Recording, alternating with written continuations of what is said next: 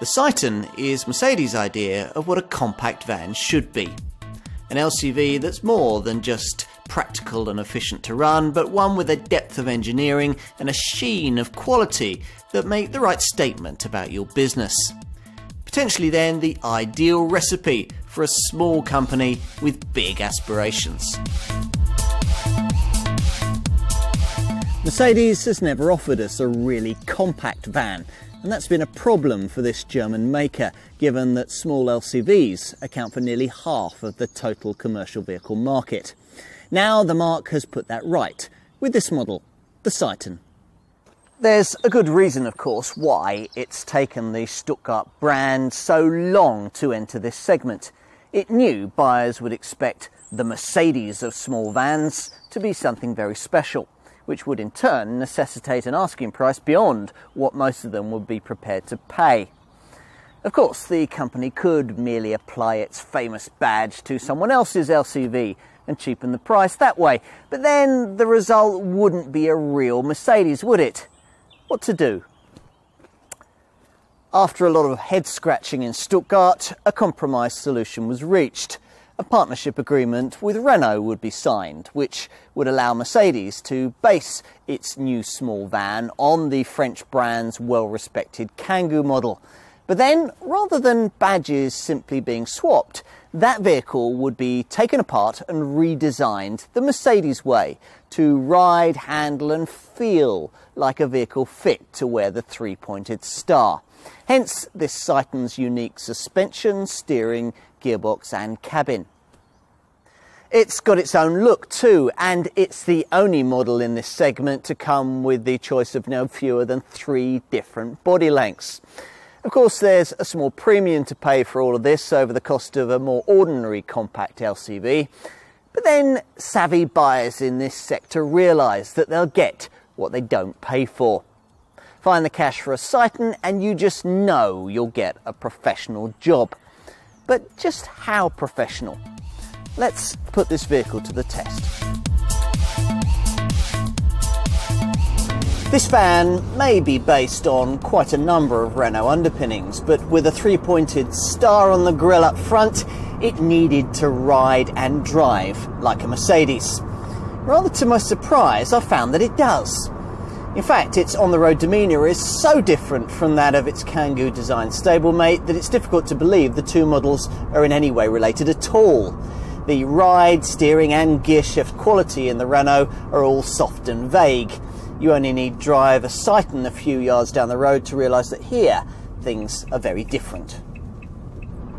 Let's start with the ride. Firm, but not unpleasantly so, thanks to changes made to the damping and stabiliser bars, getting rid of the rather wallowy feeling you get in a Kangoo you could actually imagine quite enjoying punting this vehicle through a few of your favourite back row bends once you dropped off your load, although doubtless it would be a little less effervescent when loaded up to its payload weight. The preciseness of the Mercedes direct steering setup helps here too, responding in a way that's a world apart from the sort of high effort, gritty feel you come to expect in a small van.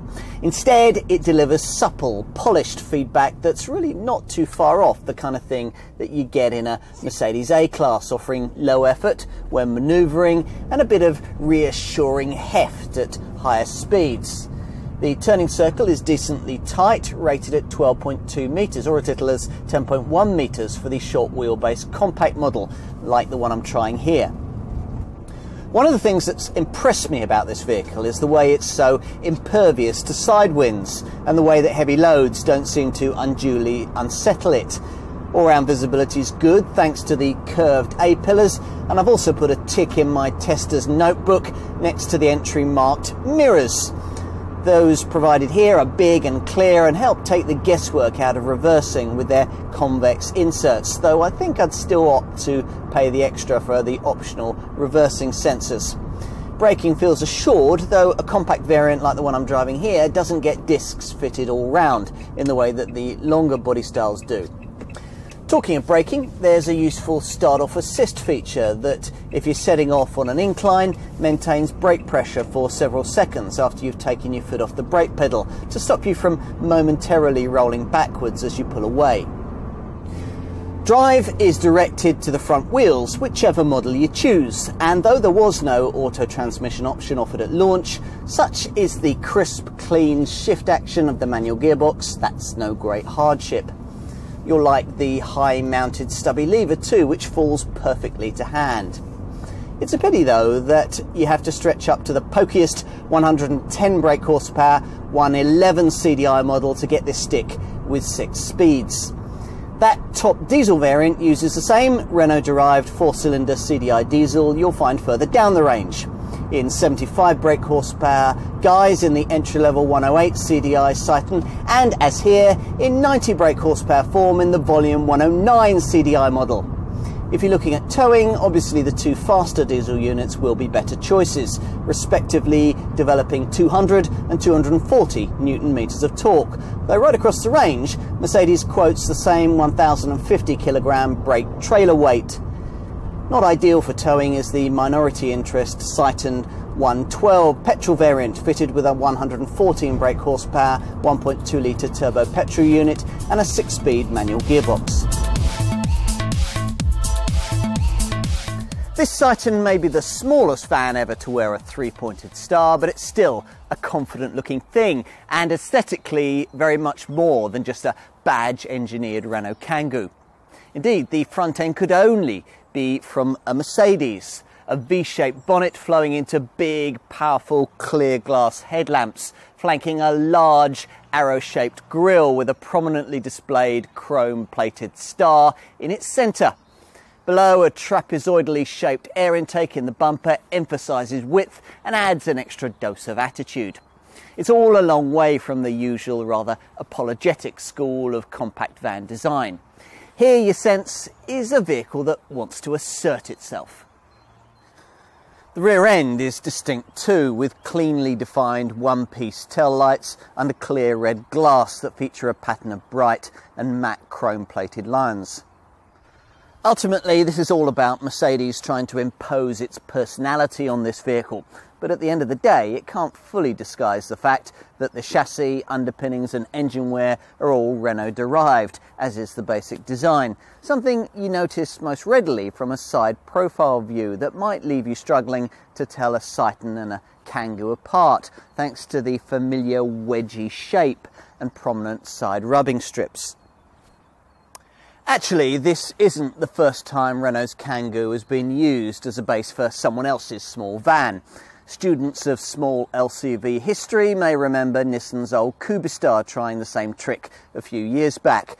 But while that was simply a badge swapping exercise, the Citan claims to represent a different, far more thorough approach, something Mercedes hopes you'll especially notice when taking a seat inside. To be honest, I never thought there was much wrong with a Kangoo's cabin until I took a seat in this one. The Stuttgart engineers clearly didn't think much of Renault's efforts, for they've taken the whole thing apart and started again. The convenient dash mounted gear stick and peculiar L shaped handbrake lever being the only remaining commonalities between the two models. Now, the Citan gets a purpose designed dashboard that wraps around the driver and is surfaced in an attractive leather like grain. The chunky three spoke wheel is bespoke too, though it's a pity it only adjusts up and down and not in and out. Through it, you view a clear set of typically Mercedes style, precisely drawn instruments featuring a trip computer with fuel consumption, range, time, servicing, and temperature readouts. It's all neat, functional, and beautifully presented, and a lot of effort has gone into making it so. The brand has its own distinct design standards for dials, buttons, and switches, covering everything from lettering font size to ease of use and minimum allowable panel corner radius. Now, all this may be fastidious, but the end result it creates has a distinct feel of three pointed star. The German maker has even redesigned the column stalk layout to incorporate its trademark overloaded single stalk that operates everything from indicators to wipers. True, there's nothing very aesthetically pleasing here, but there's an overriding air of ruggedness. and quality that makes it difficult to believe that this van runs along the same French production line as its Renault design stablemate. The firm, well shaped seats are good too, a crucial consideration in any commercial vehicle, with that for the driver being height adjustable. The form fitting curve of the backrests, in particular provides decent lateral support with trimming in Lima black fabric material that's breathable, durable, and easy to care for. Even chocolate lifts off it fairly easily with a damp cloth. Talking of seats, you might wonder whether this vehicle can be specified with the kind of optional three person front bench that some rivals offer. This Mercedes was launched with the brand talking of that feature being under development. So if it's something that interests you, then have a chat with your dealer. Of course, if the transport of people rather than packages is a key consideration for you, then the Citan range can certainly oblige, either with a dual liner model offering a fold out three person rear bench and partly glazed sides, or a fully glazed travel liner variant with a conventional five seater passenger car arrangement. Finally, I should say a word or two about cabin practicality. Here I've got the optional fold forward front passenger seat which along with the folding load protector grille that you can specify in place of the standard fixed bulkhead can increase the length of items you can carry in the cargo bay by around 750 millimeters with the seat folded flat, it's also useful for the carriage of boxes in the cab. Now, smaller items can be swallowed by the large glove box, and uh, there are decently sized bins in both of the doors. Plus, there's an overhead storage area that I'd urge you not to use for heavier items unless you want to open up the possibility of being clonked on the head next time you do an emergency stop. Uh, cup holders, well, there's one at the bottom of the dashboard, which is rather difficult to get to when the handbrakes push forward, and another a little further back. I'd also want to specify the deep lidded bin that can be positioned between the front seats. List pricing suggests that, excluding the dreaded VAT, most Citan customers will be paying somewhere in the 13 to 16,500 pound bracket across a wide range of different variants. As a customer, your main decisions will be based around three main issues body length, engine, and the question of whether there's any need for rear compartment seating. Now, let's start with the first of those though unlike some rivals, this Mercedes doesn't offer an option on roof height. Even the brand's much bigger Vito van doesn't give you that.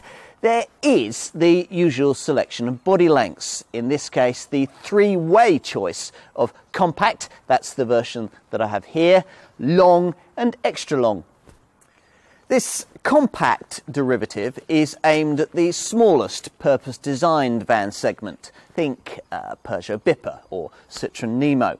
With the two long Citan body styles aimed at bigger, more mainstream compact vans like Citroën's Berlingo and Ford's Transit Connect.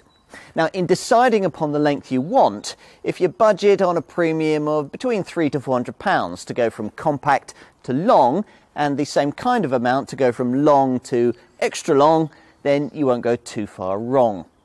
Now, you need to get this decision right, for of course, the body style you select will determine the payload you'll be able to carry. In a compact model, that'll be limited to 490 kilograms, but you can increase that to a figure anywhere between 590 and 775 kilograms in the long variant, depending on the engine you choose. Finally, an extra long Citan can take anywhere between 795 and 810 kilograms. Engines next. Almost all buyers will want a diesel, so Mercedes offers a selection of three, all 1.5 litre Renault derived units, uh, giving the choice between 75 brake horsepower in the Citan 108 CDI, 90 brake horsepower in the Citan 109 CDI, and 110 brake horsepower in the Citan 111 CDI. Now, whichever you choose, it's probably worth finding a premium of around £250 to get your vehicle specified in more frugal blue efficiency form, which will mean it'll come with stop start and other eco minded measures. this package really ought to come as standard, as it does if you go for the lineup single petrol engine variant, the 114 brake horsepower, 1.2 litre turbocharged Citan 112, offered only in the long body style. Mercedes is aiming this version at companies like town centre florists and bakers who'll cover short trips and won't really care about its reduced 630 kilogram payload capacity. So let's say you've sorted out your ideal Citan model's body length and engine choice. That only leaves the question of rear cargo compartment seating and whether there's a need for it. Now, don't dismiss this issue out of hand. Okay, so you're watching this because you're shopping for a van. But wouldn't it be occasionally useful if that van could carry four or even five people around when you weren't using all the space in its cargo bay? Your answer to that question is yes, and like many customers, you're considering the volume 90 brake horsepower 109 CDI variant with the extra long body style, then it may be worth finding the premium of around £800. Mercedes asks to get yourself the so called dual liner version that includes a useful fold out rear seat and partial rear side glazing. Of course, that won't really work if you're going to be uh, taking people around more regularly. For that kind of need, Mercedes offers a fully glazed five seater travel liner model, essentially a small people carrier, and good value at that for a VAT exclusive budget of around £16,000 if your business can reclaim the Chancellor's 20% pound of flesh. Travelliner models are based on the middle range long body style and offered in either 108 or 109 CDI guises, so in other words, with either the 75 or the 90 brake horsepower engine. Most buyers of this vehicle, though, will simply be searching for the most practical, spacious, and value priced compact van in what they'll know is a tightly fought market segment. So, how do mainstream versions of this Citan match up against direct rivals in this sector, or should I say sectors? There are, after all, two separate ones being targeted here. In the compact guise on offer in this case, Mercedes is, as I mentioned earlier, targeting the smallest of the purpose designed van segments, popularised by vehicles like the Citroën Nemo, the Peugeot Bipper, and the Ford Courier. It can't match the very cheapest versions of these LCVs on price, but if you were looking for an upper spec version of one of them, then the Citan could offer a different and slightly more prestigious option for your business.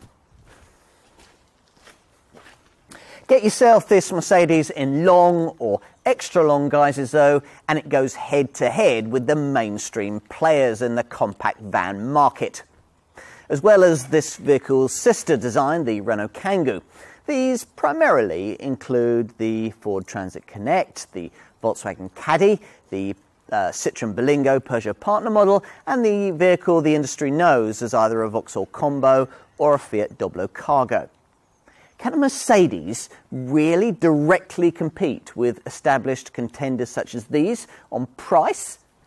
An initial glance at a glossy three pointed star price list rather surprisingly, suggests the answer to be yes, until you realise that the lowest figures quoted are actually for the cheapest, littlest, compact shaped Citan models. Vehicles like the one I have here that actually compete in the much smaller Nemo Bipper Courier segment that I mentioned earlier.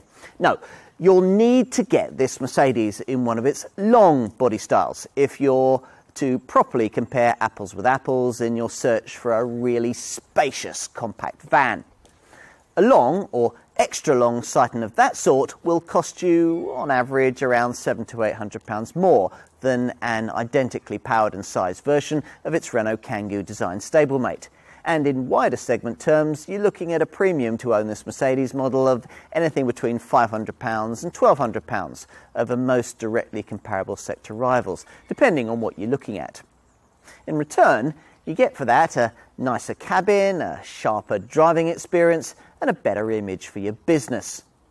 Add to that higher residual values and the fact that the better equipped Mercedes includes the kind of second sliding side door most rivals make you pay extra for, and I can see a significant number of potential customers being tempted by the Citan proposition.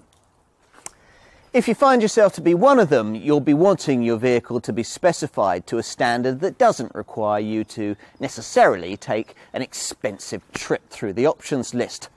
Which is why, even on base trimmed variants of this van, Mercedes includes things like daytime running lights, cruise control with a speed limiter, overhead cab storage, a trip computer, an MP3 compatible stereo, Bluetooth for your mobile phone, and a start off assist feature that stops you from rolling backwards as you pull away from rest on an incline. As I just mentioned, the two longer versions get the welcome bonus of two sliding side doors rather than just a single one. This in addition to more expected items like a full height bulkhead, an immobiliser, electric mirrors, and remote central locking. As for options, well, you might want a tow bar, and it could be worth looking at features like the rear ladder flap that lets you poke really long items out of the end of the roof. Or, on the long models, you could opt to put such items in a roof cargo basket. Before getting into all of this, though, make sure you've enough in your budget for what I'd say are the two most important optional features the foldable front passenger seat and the folding load protector grille that you can specify in place of the standard fixed bulkhead. These usefully increase the potential length of items you can carry. On the long variants, these items come already included as part of an optional cargo pack. Other optional packs include one for appearance, which smartens up the look of the van and adds alloy wheels, and a driver's pack, which adds air conditioning where not already fitted, plus niceties like parking sensors and power folding mirrors. There's a safety pack too, which for around £500 includes front fog lamps and properly completes your airbag tally for a little disappointingly only a single airbag in the steering wheel is standard. One reason perhaps why this vehicle scored only three stars in Euro NCAP testing. With this pack you also get a side airbag for the driver plus front and side airbags for the front passenger. Standard safety kit includes an adaptive electronic stability control system clever enough to adapt its functionality to the weight of the load you're carrying and there are hazard warning lights that automatically activate when you stamp on the anti-lock brakes so that following motorists are warned. Plus, there's a whole package of electronic assistance acronyms. TCS traction control, EBR engine friction torque control, ASR acceleration skid control, and VDC vehicle dynamic control. That last feature regulates oversteer and understeer through the corners. As you might expect, when it comes to the van model, the three Citan body styles really are quite different.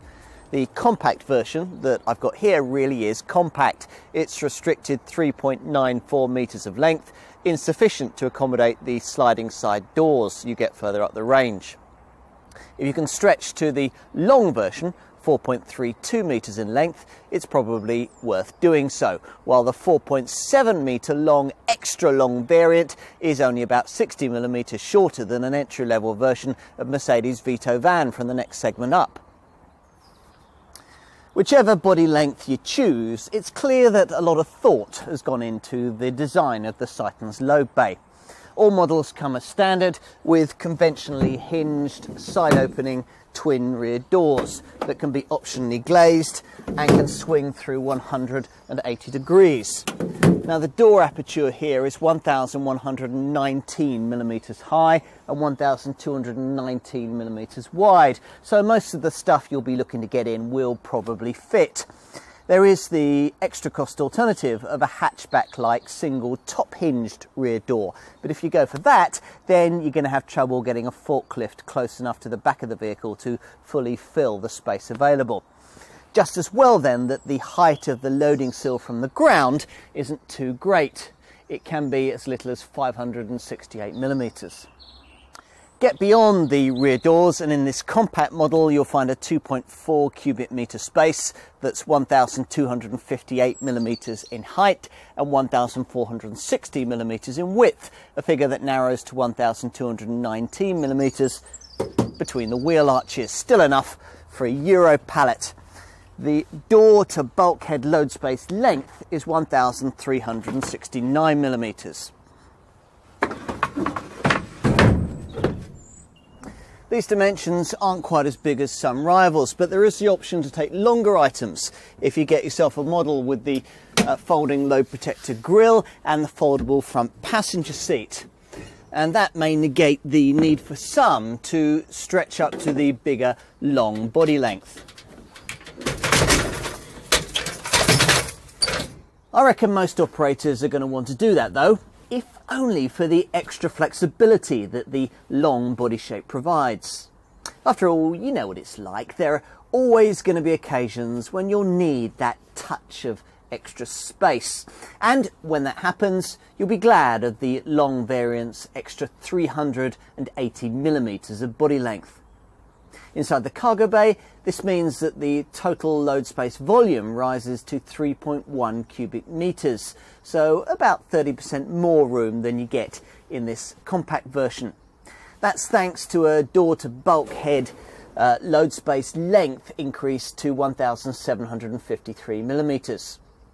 Go for an extra long Citan and the cubic capacity is 3.8 cubic meters across the load length of 2,137 millimeters, which could rise as high as 2,886 millimeters with the folding load protector grille and the foldable front passenger seat fitted.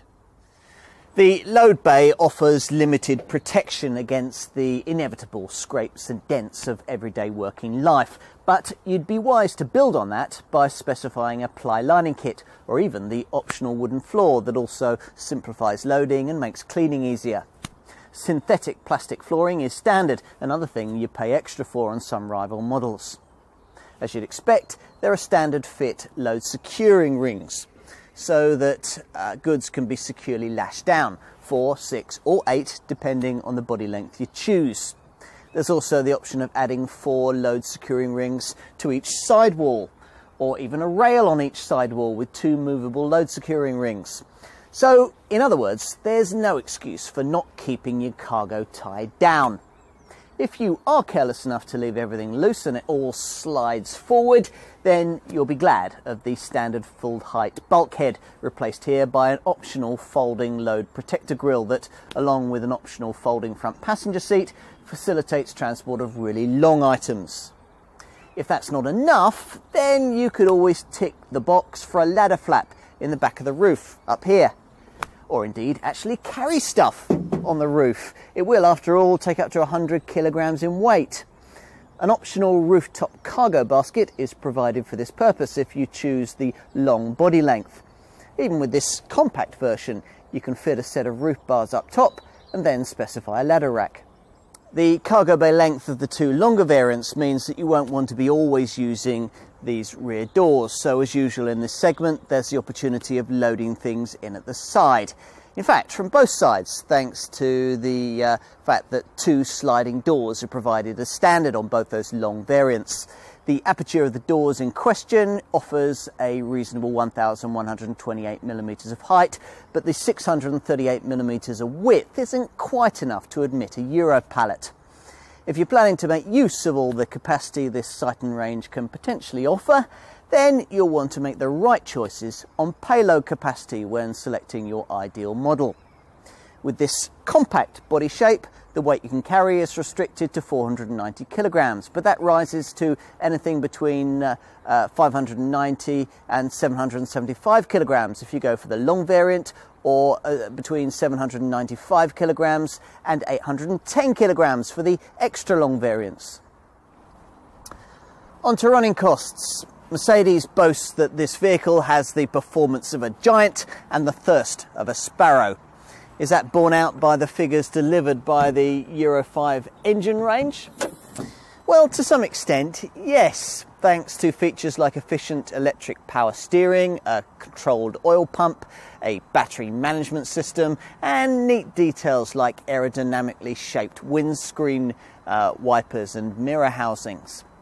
Fuel economy is curiously actually better if you specify a 90 brake horsepower 109 CDI diesel variant like the one I have here, rather than the entry level 75 brake horsepower 108 CDI model. And you can boost your black pump returns by around 5%, in either case by opting for the extra cost Blue Efficiency Pack, which costs £245. So by my calculations would probably pay for itself after around 35,000 miles.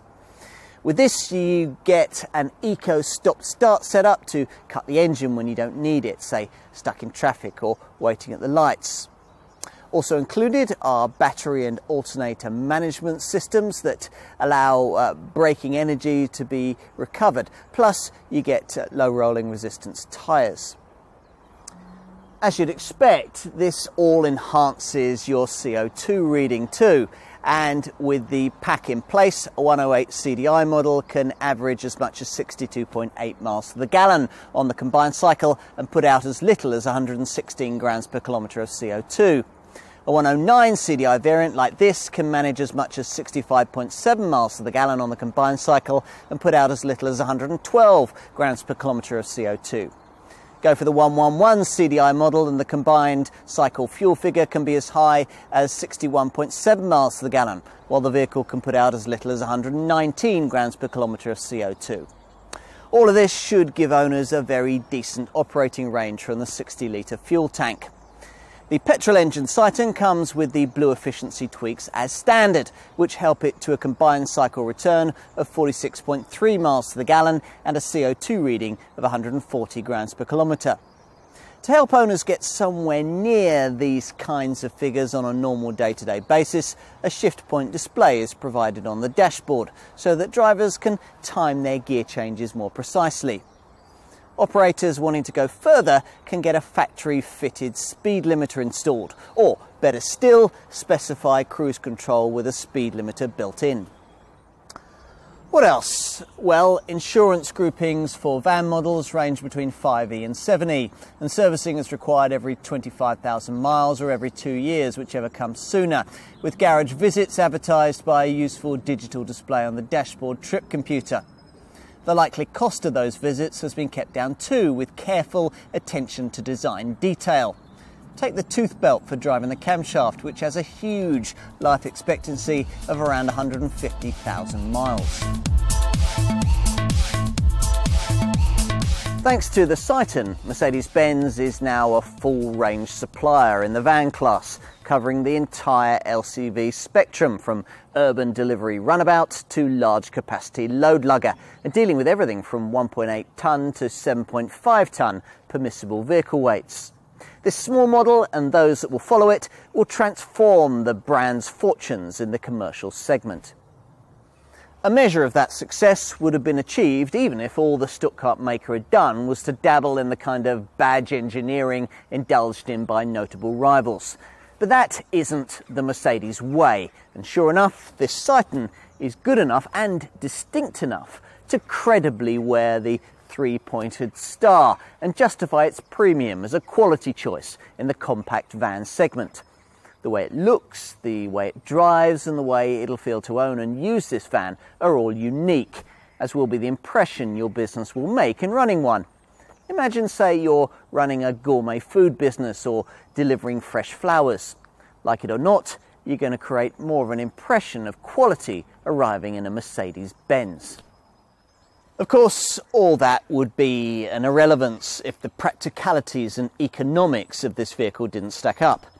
Fortunately for the German brand, proven Renault underpinnings and engine wear ensure that they do, though I'd like to have seen the optional blue efficiency engine tweaks installed as standard across the range. It's the only vehicle in its segment to be offered with three different body lengths, and there are key touches you just don't get as standard on many rivals, like twin sliding side doors and stability control that adapts itself to the load you're carrying. It's all very premium, all very Mercedes, and all evidence of how, in most of the ways that really matter, this Citan can really deliver.